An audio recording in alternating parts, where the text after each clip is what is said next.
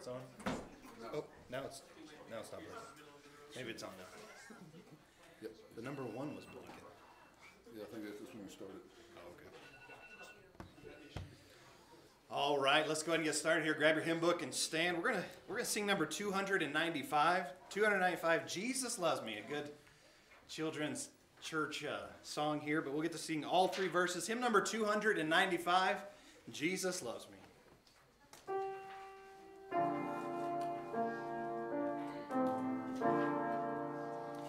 Jesus loves me,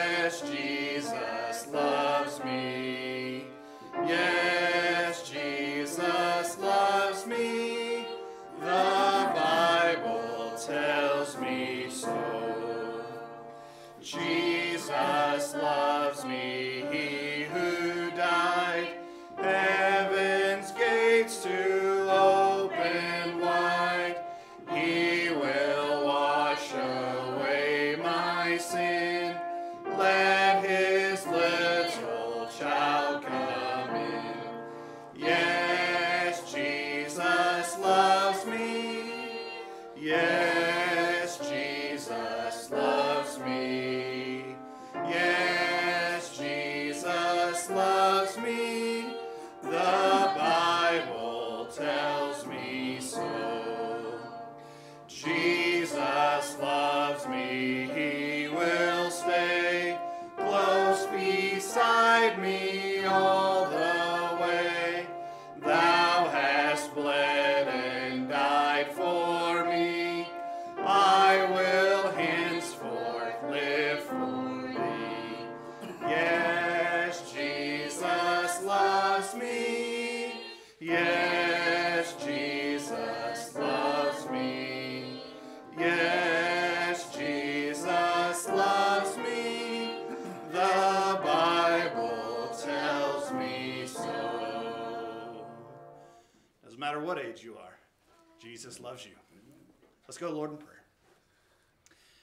Father, thank you, Lord, for another day and, Lord, another opportunity to be here.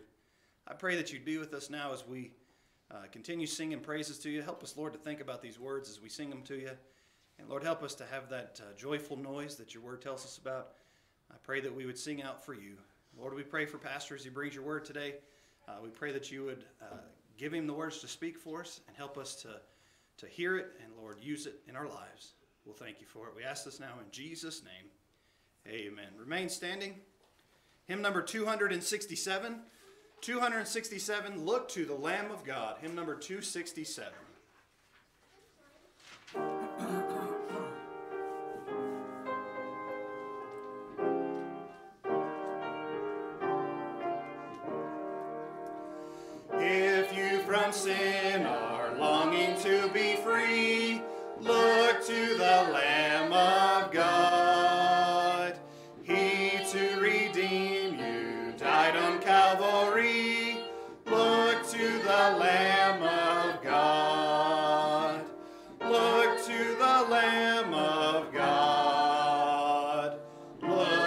The Lamb of God. For he alone is able to save you. Look to the Lamb of God. When Satan tempts and doubts and fears assail, look to the Lamb of God. You in his strength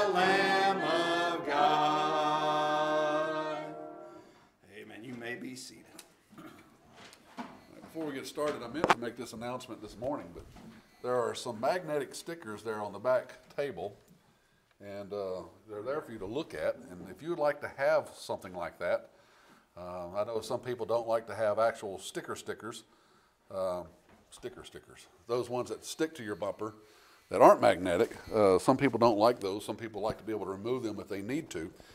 But uh, they're the simple uh, stickers that go on the back of your vehicle that have scriptures on them.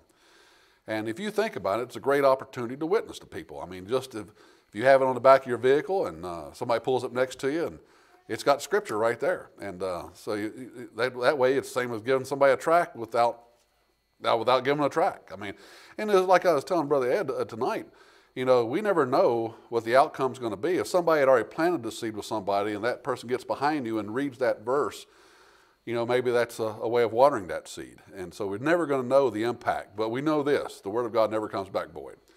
And so if you would like to have some, uh, or if there's different scriptures that you would like to have, I can get those for you. Just let me know and I will order them and it'll be free. The church will pay for them, okay?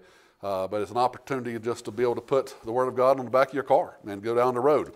Now, I will tell you that sometimes uh, people will come up and get kind of angry with you if, uh, if they get offended, but I don't care. Amen?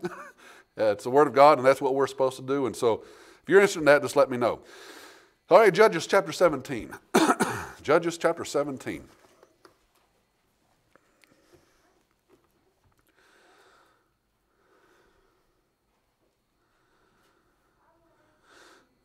Judges chapter 17.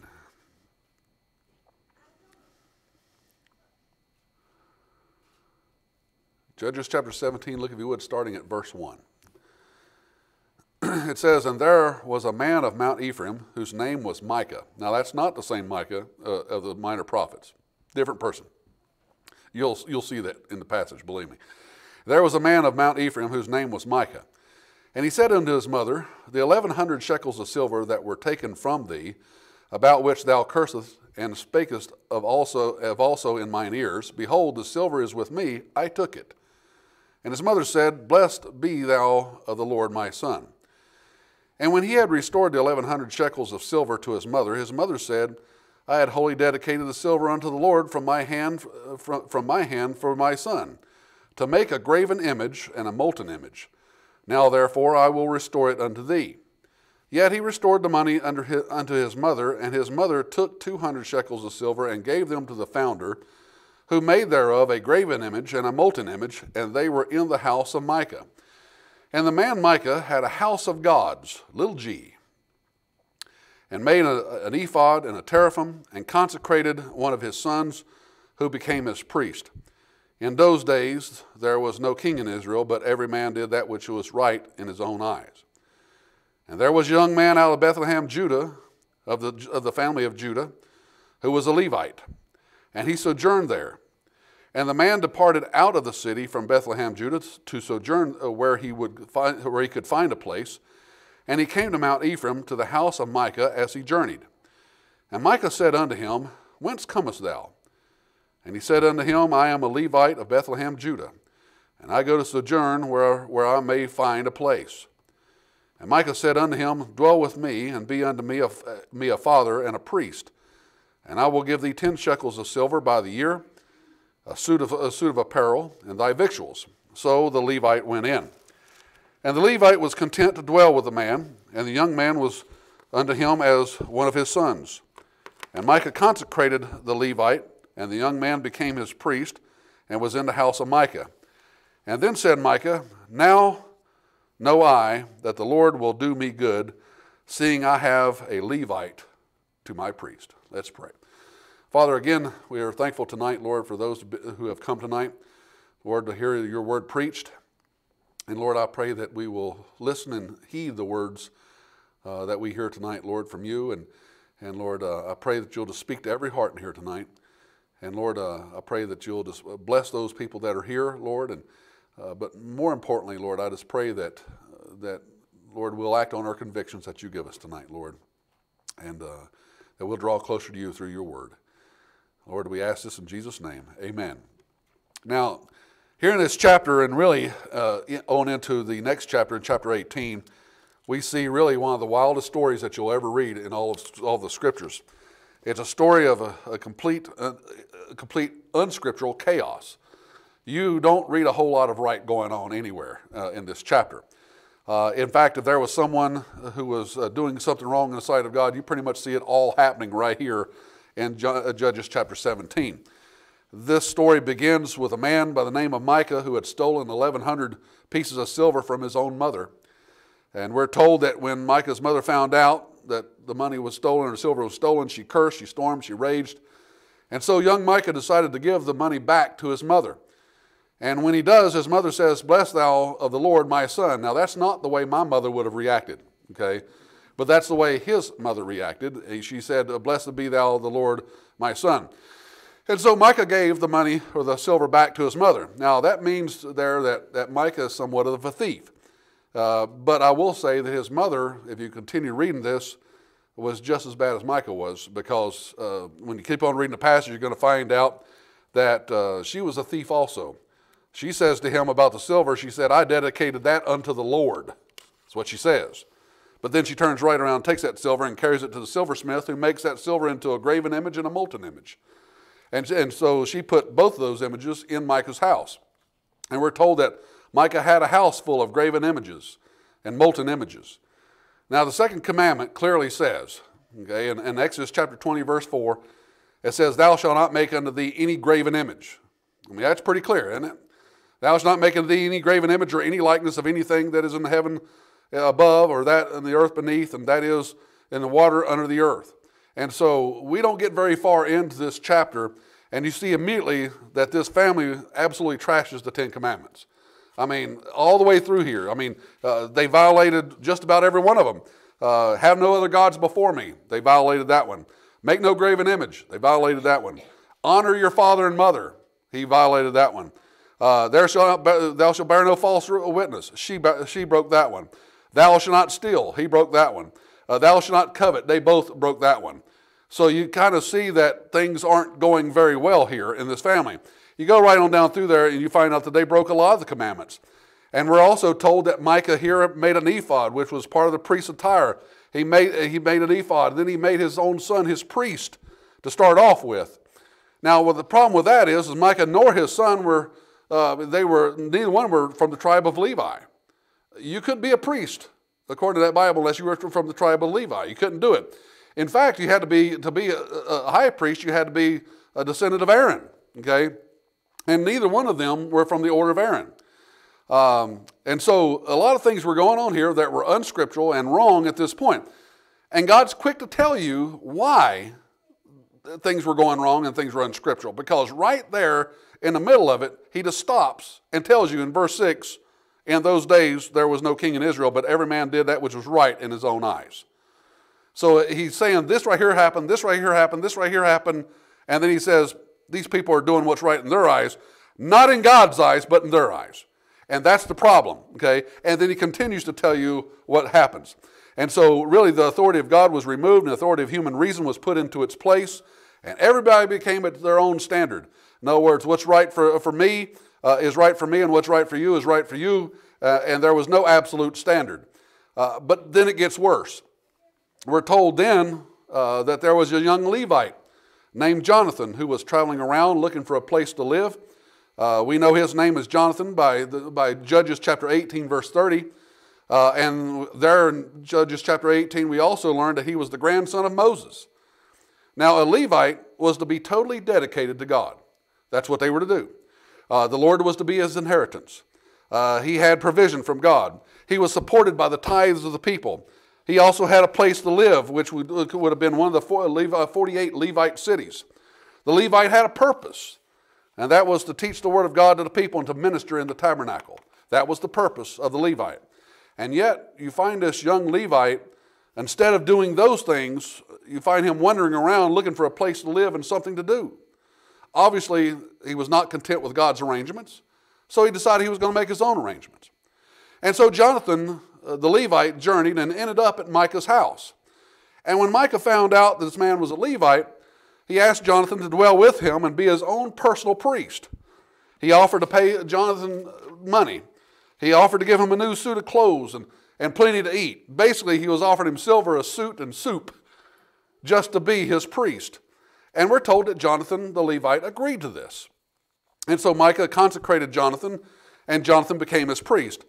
And then in the very last verse, we see Micah saying this now know I that the Lord will do me good, seeing I have a Levite to my priest. Now, once you get into chapter 18, you read that a bunch of men from the tribe of Dan comes along, and they end up taking away Micah's priest, and along with all of his images, and basically leaves Micah with absolutely nothing. Okay, and those men from the tribe of Dan set up Micah's graven images, which uh, which were made at the time uh, that they're uh, that he made, and he, they set them up in the house of God in Shiloh.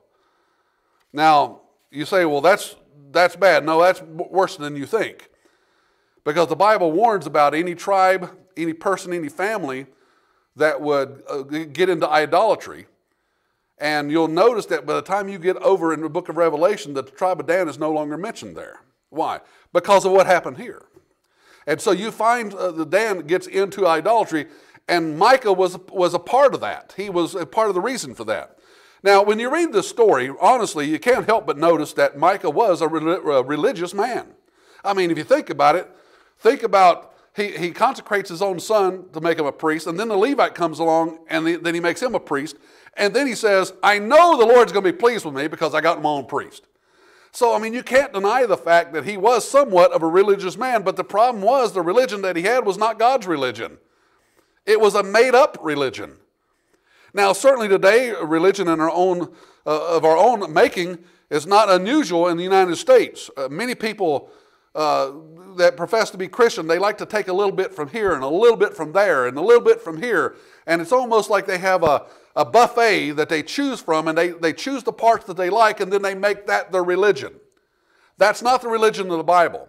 There are people today, when it comes to what they believe about God, they'll, they'll pick this verse or that verse or this verse, and then they develop their own, their own uh, uh, what, what they perceive God to be. But that's not the God of the Bible. There are people today that cannot handle that God is the person that said, go in there and wipe them all out men, women, children, and animals, wipe them all out. They can't handle that. There are people today that can't handle the fact that, that God will let somebody go to hell and will throw people in the lake of fire when their name's not written in the book of life. They can't handle that. What they can handle, though, is the God of love and the God of grace and the God of mercy, and there's no doubt He's all those things. But He is the God of the Bible. You've got to look at all of His attributes. You can't just cherry pick the ones that you want. That's called making your own religion. And that's exactly what Micah has, has, done here. He's made up his own religion. In other words, he's saying, oh, look, I'll just make my son a priest. And oh, look, I've got a Levite now. Boy, God's really going to be pleased with that. But wait a second. What did God say about how all this was supposed to happen? How did God, what did God say about the consecration? Uh, uh, who was supposed to consecrate a priest? What did God say about where that priest was supposed to be and the job that that priest was supposed to do? And what did God say about, about graven images? You see, he, were, he was doing all these things, and the whole time he's thinking, God's going to be pleased with this because I've got religion. But it wasn't the religion of the Bible, it wasn't God's religion. And so in America today, you see that. You see a lot of people making up their own religion. And you know, and I've even heard people actually tell me that. I mean, I've, I've went and witnessed to people, and I've actually had people tell me, you know what, I've got my own way of worshiping. And you've got your way of worshiping, so don't, don't come preach to me. Well, if your way of worshiping is different than this Bible, then you've got a made up religion. Amen? And so that's what you see that in America today, and certainly you saw that in the time of Micah. Now, today, true, I don't think anybody actually you know, takes silver and melts it into graven images? I, I, maybe they do. If you do, you need to knock that stuff off, okay? But, uh, but certainly, there are a lot of people who have a made up religion uh, in this country. And the truth is, faith of our own making will never cut it when it comes to pleasing God. Never cut it when it comes to pleasing God. Now, there are people today who have, have man made religion, but they have no idea that their religion is, is not the religion of the Bible. They've been deceived. And we need to make sure that we don't get deceived.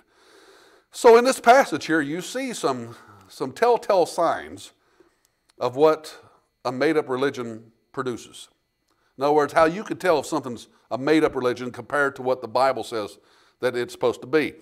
And so one of the man, uh, one, one sign of a, of a, man, of a man-made or a, or a made-up religion is this. A man-made religion doesn't take sin seriously. A man-made religion does not take sin seriously. Notice, if you would, at verse 1. It says, There was a man of Mount Ephraim whose name was Micah, and he said unto his mother, Eleven hundred shekels of silver that were taken from thee, about which thou cursedst and spakest also in mine ears, Behold, the silver is with me, I took it. And his mother said, Blessed be thou of the Lord, my son. Now, when you read what happened here, it would be very easy for us to say that Micah had conviction about stealing the money from his mother, and so he, he made it right by giving the silver back to her. But if you read a little closer there, I think you'll notice that it seems like Micah was not under conviction by God to give the money back to her. Uh, he, he, gave, he gave the money back in order to calm her down. Because it suggests here that if you look back that, that she was uh, she cursed and spake also in mine ears uh, he said and that's when he said okay i took it. Uh, and that suggests that if his mother had not gotten upset about it if his mother had not cursed about it and spake in his ears about it that he probably would have never given it back now that's what when you, when you read, read that way now micah he, he, probably will never get it back he probably will never confess that he took it he did not honor his mother to begin with when he stole the silver. I mean, certainly that, that was a problem. It doesn't seem like he was convicted by God to give the money back or the silver back. And the fact that he dishonored his mother and had stole the silver really didn't seem to bother him at all. What bothered Micah was the fact that his mom was upset. Now, Paul warns us about the wrong kind of sorrow in 2 Corinthians chapter 7 verse 10. Here's what he says. He says, For godly sorrow worketh repentance to salvation. Now, that doesn't say that godly sorrow is repentance.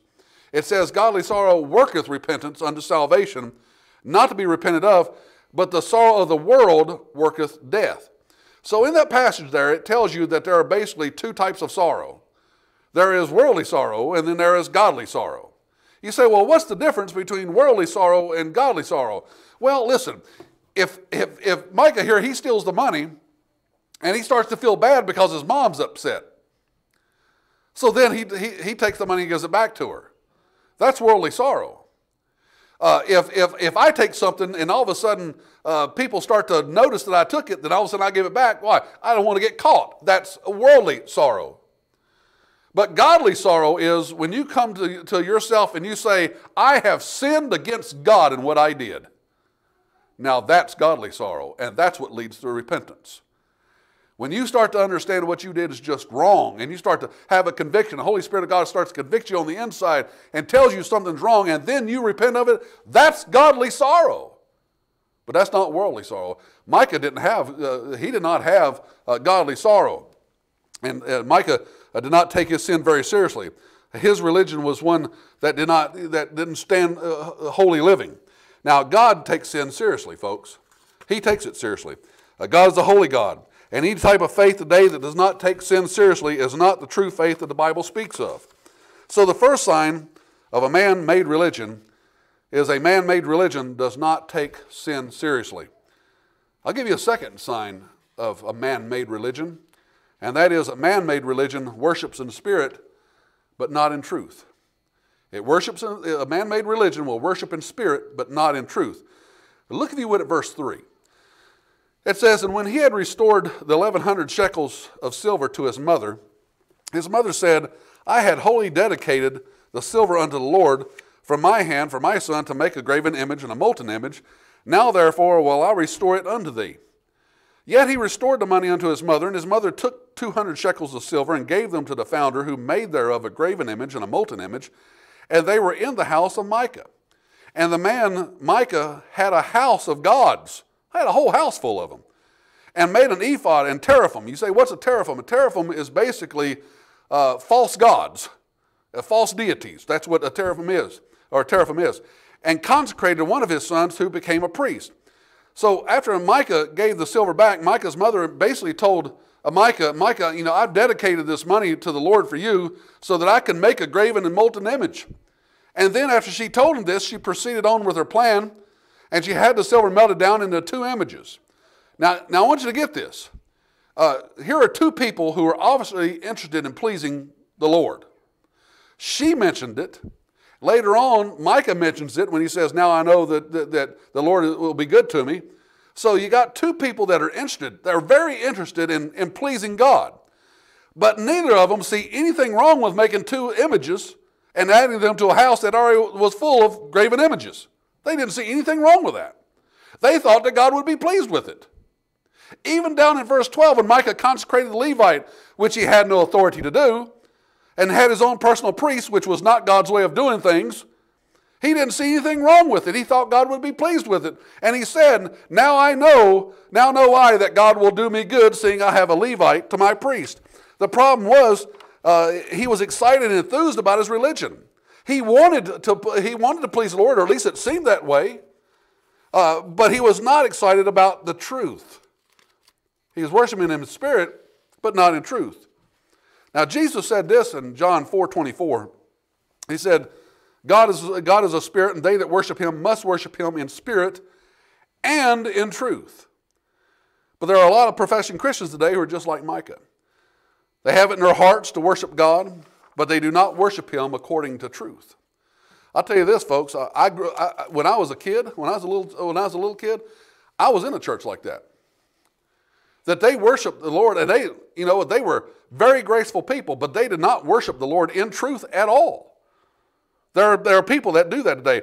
Uh, there's a man today that uh, there, there are people today that want to worship God on, on man's terms. In other words, this is the way I'm going to worship God, and it doesn't really matter what the Bible says. No, it does matter what the Bible says. You've got to worshiping, uh, worship Him in truth. And you say, well, what's truth? Thy word is truth, what Jesus said. So, in other words, you have to worship God according to what the Bible says. You have to do what God tells you to do in the Bible. You have to uh, worship Him according to the script, what the Scriptures say, not what you think is going to please God, but what the Bible says is going to please God. But there are so many Christians today that they, they, they want to worship the Lord. They think that they're worshiping the Lord. They think that God's pleased with what they're doing, but they're not doing it according to what the Bible says. And there are people today who call themselves Christians who will bow down before graven images and think that God approves of that. There are people right here in this town that'll do that. They think they're pleasing God by doing that, but they're deceived because that's plain disobedience to God. When anybody gets bows the knee before any graven image, there is no way in the world that God is pleased with that. Would you agree with that tonight? No way. But yet those people think that God is. Kind of reminds you of Micah. Now, not only does God tell us not to have any graven images, but we're certainly not to bow down to them. And just because you think that, that, that, that God will be pleased with something doesn't mean that He's going to be pleased with it. Just because you are pleased with something doesn't mean that God's going to be pleased with it. The things that pleases God are the things that the Bible says will please God. I remember uh, a, a, while back, to give you an example, I remember there was a, a, a Christian one time, I challenged this Christian on uh, about playing the lottery. Okay? And uh, it isn't like I caught this Christian playing the lottery. Actually, this Christian came up and told me that they started playing the lottery, so I, I challenged them on it. And, and I mentioned to her that it was, it's a form of gambling, and, uh, and I explained what the Bible has to say about gambling. And her response was this She said, Well, Pastor, if I win, just think about the tithe that I'll be able to give the church. And she was sincere. She was almost acting like she was doing it for God, but she wasn't. She, she honestly thought that the Lord would be pleased. Let me ask you something. Do you think the Lord would be pleased with that? That's called made up religion, folks. When you start to do it, you're making up your own religion. When you start to determine what God's to be pleased with outside of what the scriptures say, when the scriptures say that God is displeased with something, and then you think that somehow he's going to be pleased when you do that, your religion is made up. Hey, listen, Micah should have known what the scripture said. I mean, he, he at least knew enough that when a Levite came along, he said, Hey, I, I, he's a priest. Maybe I can make him my priest. Now, I agree that that was wrong, but at least he had enough biblical knowledge to know that a Levite was supposed to do something uh, uh, with the priests. At least he knew that much. I would say he probably understood the Ten Commandments well enough also to know that he was not supposed to have graven images. How is it that him and his mother are making these graven images and both of them somehow think that's going to please God? It's because they had made up man made religion.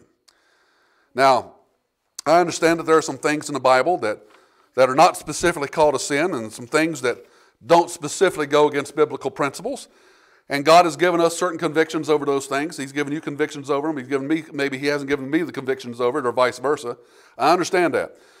And when it comes to those things, the only, the only time we should ever do those things is we can do them by faith and it, and it could glorify God. Understand that. That's all in Romans chapter, uh, chapter 14. But when the Bible tells you that something is a sin and you do it anyway, and then you justify doing it by thinking somehow it's going to please God, you are not worshiping God according to truth. If you're going to please God, it has to be done in spirit and in truth. And so, one sign that, that, that your religion is made up is that a man made religion doesn't take sin seriously. Another sign that, that, uh, that something's a man made religion is that a man made religion worships in, worships in spirit and not in truth. And then the third thing, and that is a man made religion focuses on the rituals, not righteousness.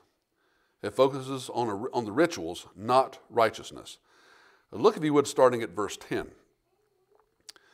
It says, And Micah said unto him, Dwell with me, and, and be unto me a father and a priest. And I will give thee ten shekels of silver by the year, and a suit of apparel, and my victuals. So the Levite went in. And the Levite was content to dwell with the man, and the young man was unto him as one of his sons. And Micah consecrated the Levite, and the young man became his priest, and was in the house of Micah. Then said Micah, Now know I that the Lord will do me good, seeing I have a Levite to my priest. Micah's concern was only having a priest. He was only concerned about the rituals being performed. He thought that the works that he did would make him accepted by the Lord. But God made it clear that He is not interested in works, He's interested in our hearts. And He always has been. Turn, if you would, uh, over to Isaiah chapter 1, and I'll show you. All the way through, sometimes when we read the Old Testament, we think it's all about that God's interested in works. No, He's not.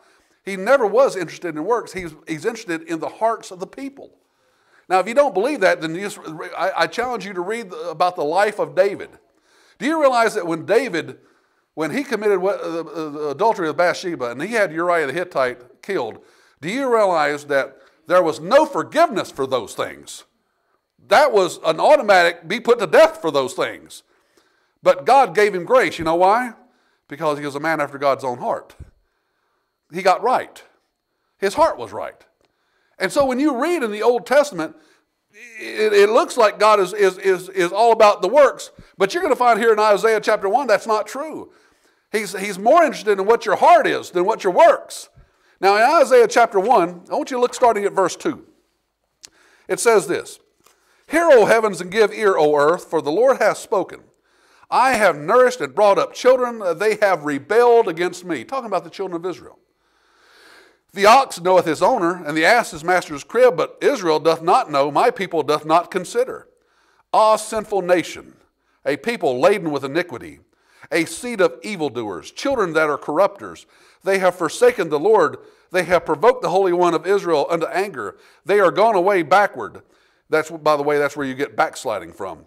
Verse 5 Why should ye be stricken any more? Ye will revolt, revolt more and more. The whole head is sick, and the whole heart faint. These people had a heart problem. These people had no love for the Lord, they had no fear of God. Their hearts were not right with God, and yet they continued to offer sacrifices like they were supposed to, and they continued to do the rituals thinking just like Micah, that God would do them good. They thought God was pleased with it. Now drop down to verse 11, and we'll see really what God really thought about it.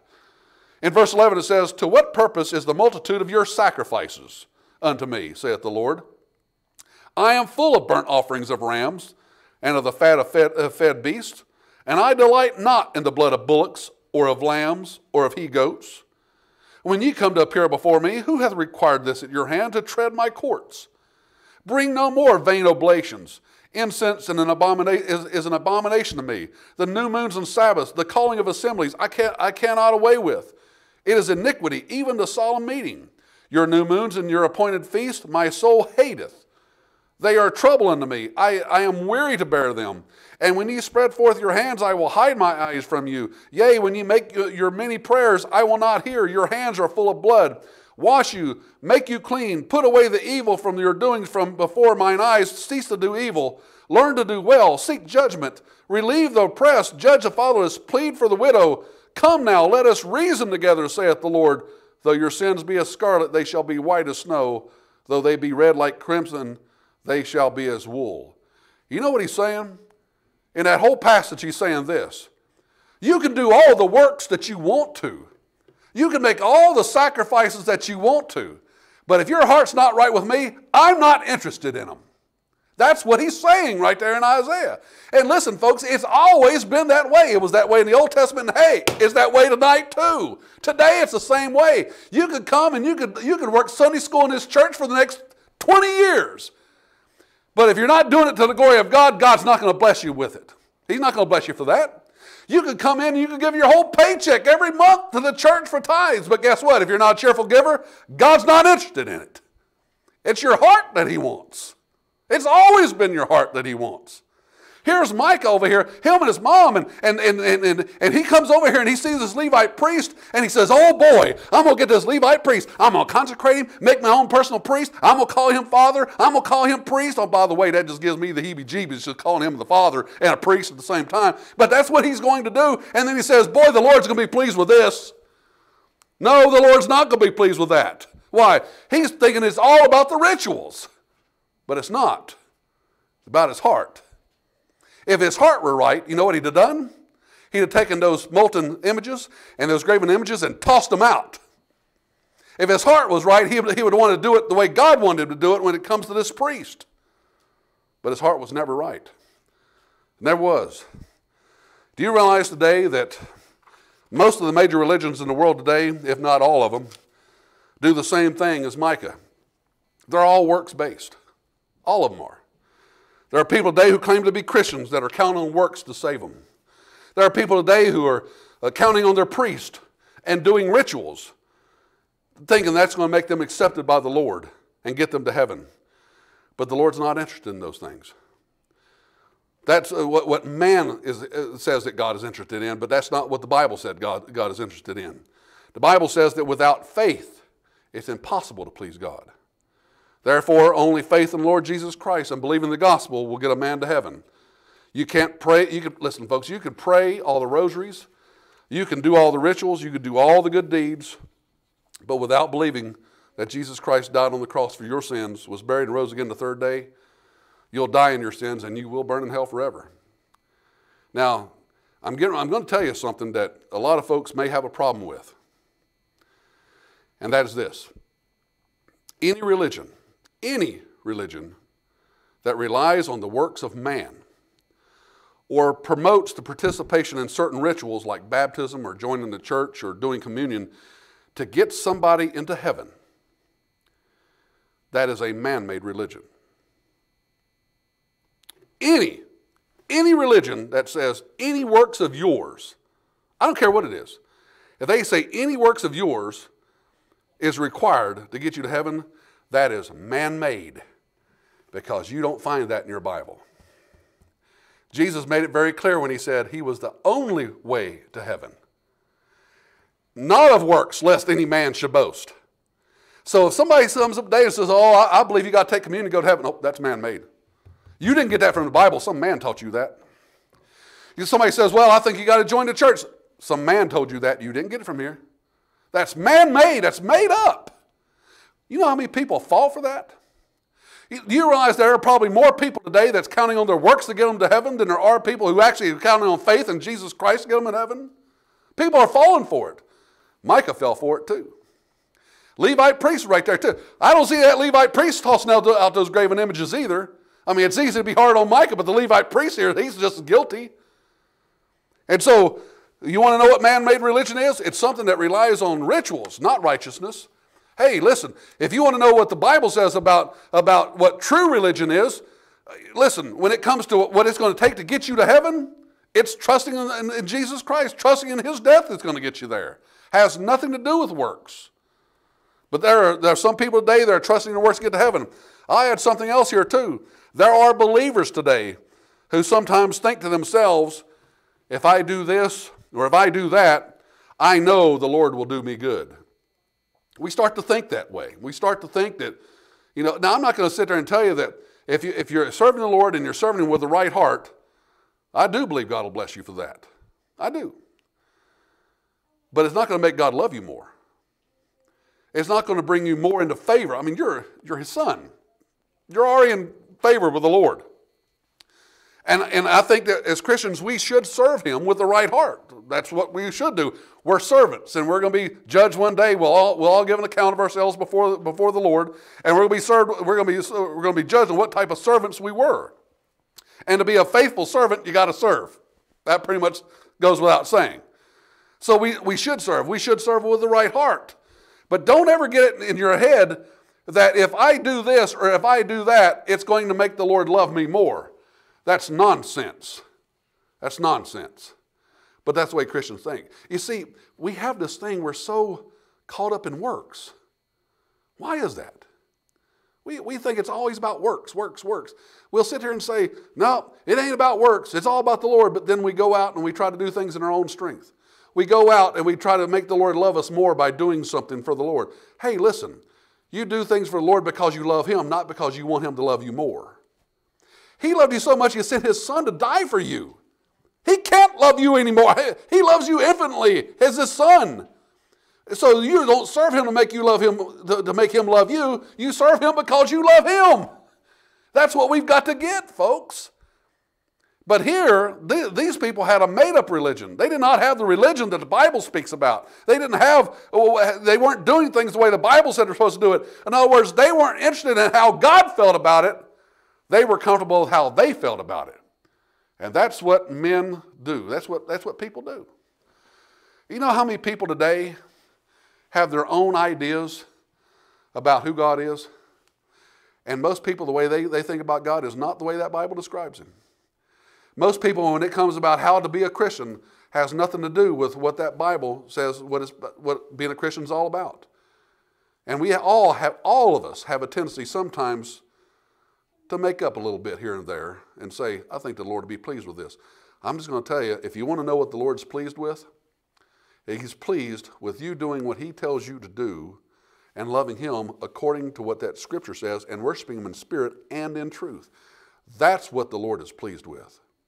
That's what the Lord is pleased with. But that's not what Micah did. Again, when you read it, it's, it's this absolute unscriptural chaos because he's trying to do things to please the Lord. And everything he's doing, if you read according to the Bible, is displeasing the Lord, really. And so uh, we want to be able to say that now I know the Lord will do me good. If we want to know, we want to make sure that that's true, then whether therefore ye eat or drink or whatsoever you do, do to the glory of God. And whatsoever you do, do it heartily unto the Lord as not, and not as unto men. If you really want the Lord to do you good, that's what you need to do. Is religion tonight, is your religion man made or is it God made? The way you feel about the Lord, is that the way the Bible describes him? Your, the way you worship the Lord, do you worship him in spirit and truth or do you just worship him the way you want to worship him? Is it according to the word of man or is it according to the word of God? What exactly are you counting on to save you tonight? If it's anybody or anything other than Lord Jesus Christ, you've been deceived by a man made religion and you're lost. If you call upon Him, He'll save you. If you put your trust in Him, in him and only Him, He'll save you forever. And, Christian, have you been deceived tonight by a man made religion that says that what you do is what brings makes the Lord love you more. Have you been deceived by that? Are you one of those Christians that like to cherry pick the parts of, the, of, of religion that you like and then live according to that? If you are, you're like probably the majority of the Christians today. A lot of Christians today, they think that they can. I've talked, how, how many of you ever talked to a Christian that says, you know what, I just don't think you need to go to church to be a Christian? Well, that's true. You don't have to need to be, you don't need to go to church to be a Christian. But the Bible does tell you to go to church. Amen? Now, it does. Can't get past that. What are you going to do with that? People today, they, they say, well, what they'll say is this, is I don't really, I'd rather go, I'd rather go, well, you're not going to go out on the lake this time of year. It's a little bit cold, amen? But people say, I'd, I'd, like to go to lake or I'd like to do this on my, on my one day off, and, and I, don't, I don't want to go to church. And I just don't think you need to. That's man made. That's man made religion. When somebody says, Well, I just, don't, I just don't see the need of reading my Bible, I mean, I, mean, I, I just go listen to the preacher. It's kind of like uh, not reading a book, but going to watch the movie. Let the preacher preach it to me. Well, that's great. You should, I mean, preaching's good. But the Bible does say, "Study to show thyself under, uh, show thyself approved unto God. A workman needs not be ashamed, rightly dividing the word of truth." It says that, doesn't it? Listen, you just can't cherry pick the parts that you like. That's not that's man-made. You're making if that's you tonight, you're making up your own religion. You say, then what religion am I supposed to be doing? What the Bible tells you to do. You know, pray without ceasing. Read your Bible. Go out witness to people. That is the Great Commission. A lot of people like throwing that out too. Come to church. Draw close to the Lord. Stay in fellowship with Him. Confess your sins often. That's what the Bible says you're supposed to be doing. But so many people are just like Micah. Cherry pick this and cherry pick that, and then they step back and say, Lord's going to be pleased with this one. No, He's not. If that's you tonight, you need to get right with God. If your religion is not according to truth, if you're not worshiping God according to truth, you need to get right tonight. Because I'm telling you, if you're not worshiping Him according to what that Bible says, He's not pleased with it. He's not pleased with it. I think we all want to please God, don't we? Then let's start worshiping Him in truth as well and get away from this man made religion. Let's stand.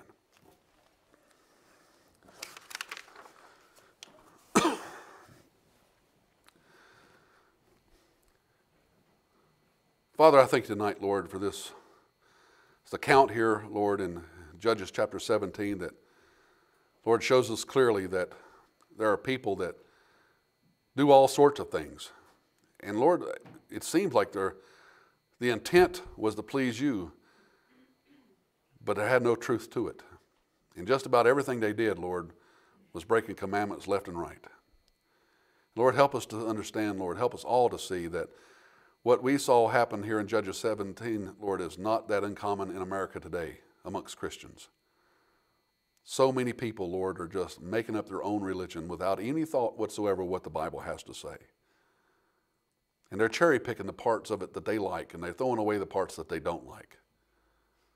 And Father, I pray if there's anybody like that here tonight, Lord, I pray that they'll get right with you, Lord, and start seeking to serve you with, with, according to truth, to please you according to truth, and that our, heart, our hearts will be right before you tonight. I also pray, Lord, there's somebody here tonight that's not saved. Lord, help them to understand the truth, and that truth is that they are a sinner and there are wages for those sins.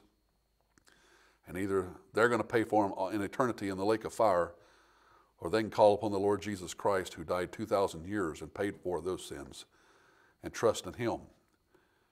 And Lord, we know that if they'll call upon the Lord Jesus Christ tonight, that they'll be saved. So I pray tonight, Lord, that you'll convict anybody here tonight that's not, not saved, Lord. Reprove them of sin, righteousness, and judgment, Lord, so they'll understand the truth and call upon you for salvation tonight. I pray you'll have your will and way during the invitation, Lord. I ask this in Jesus' name. Amen. If the Lord spoke to you tonight, maybe you are, maybe you're guilty of, of, of making up parts of your religion. Making up your Christian, your own Christian walk and what you think God will be pleased with.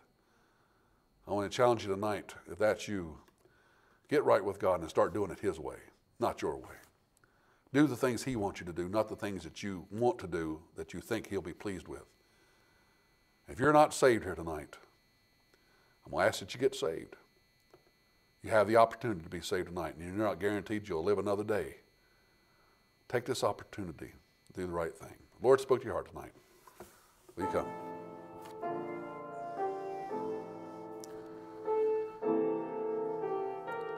Is what you believe about your religion what the Bible says, or is just what you want it to be? Are you making up your own religion as you go?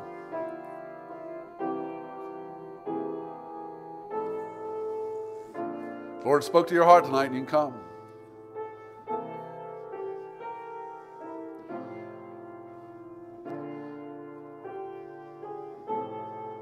God pleased with you in your Christian walk tonight?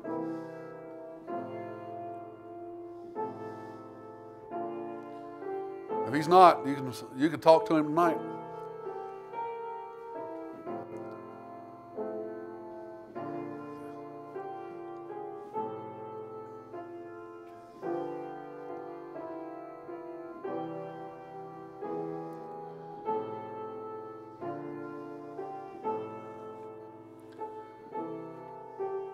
Saved tonight? Do you know you're going to heaven? Have you received Jesus Christ as your Savior?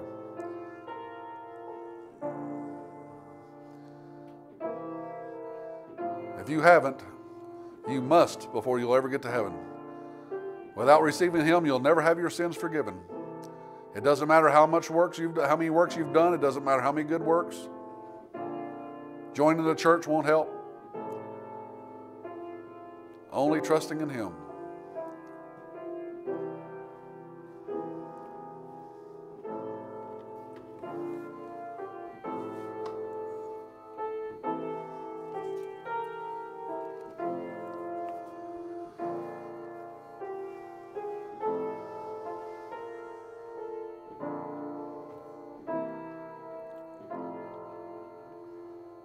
All right.